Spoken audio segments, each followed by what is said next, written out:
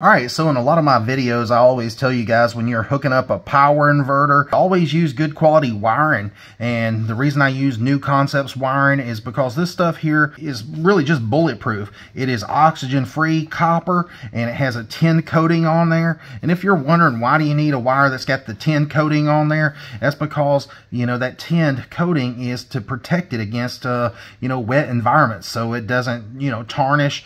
You know, everybody knows that copper pennies tarnish varnish, they go from shiny to dull looking. And so, you know, in order for it to be really conductive, you want a nice, clean, shiny metal. And so that's what that tinned solder coating does is, is keeps that wire from, you know, getting all dull looking. So uh, anyways, uh, this uh, one all wire here has uh, 5,145 strands of oxygen-free copper. This stuff is rated at 375 amps. I went ahead and cut it there and I'm going to pull it apart for you and show you. Look at that. I mean, 5,145 strands of wire. And you would think with the wire being this thick that the jacket wouldn't be very flexible. You can see right there that that is a uh, very flexible jacket. It's uh, a PVC and so, you know, you can't do that with welding wire. And so, that, I mean, that's why I use this uh, New Concepts Kolossus Fleks wire. Now, check this out. When you go to, to cut it, you can see right here on the end that's been cut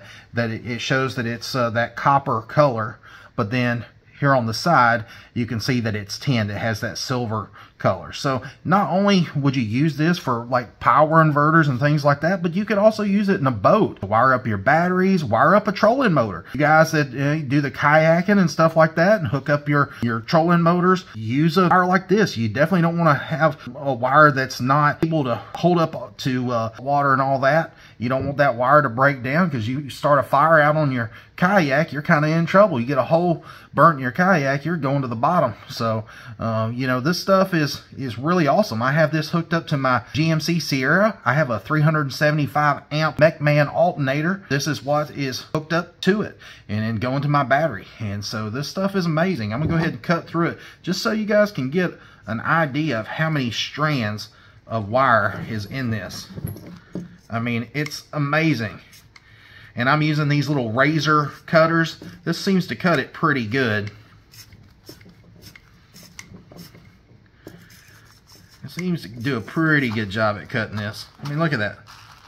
I mean, you drop that in the floor, guys, and you got a mess.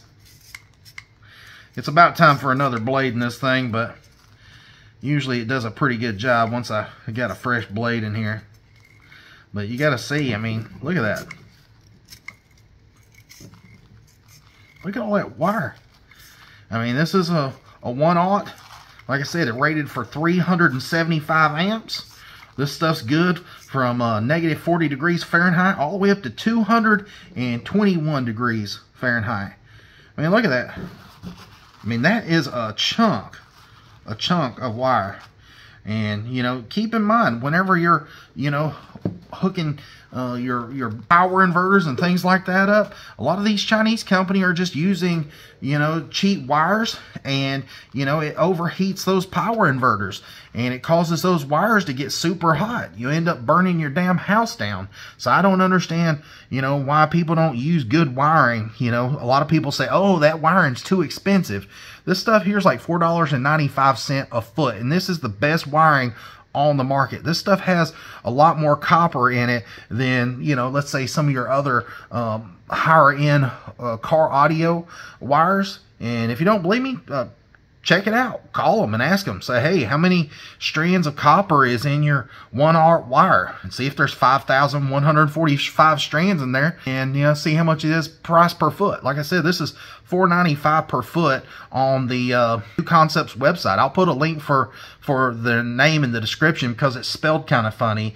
Uh, KnuKonceptz is spelled with a K, so uh, the spelling on the, the name is a little bit funny, but like I said, I'll put a link in the description and you can compare, you know, uh, Stinger and uh, JL Audio and Rockford Fosgate and all these car audio brands that sells uh, these wires, you know, they've got similar ones on there, but you're going to pay more per foot. And I just don't understand why people don't, you know, just use this KnuKonceptz wire. It's cheaper and it's really the best wiring on that you can find. I think it's the best on the planet. I've been using it for several years now and I'm just really impressed with it. I mean, look at that.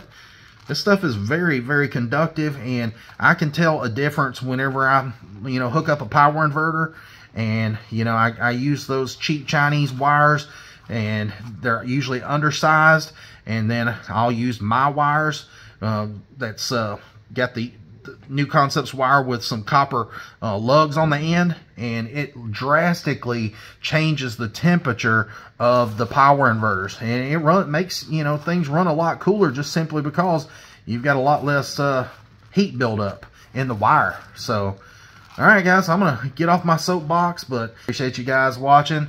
This here is the New Concepts Kolossus Fleks Wire. See ya.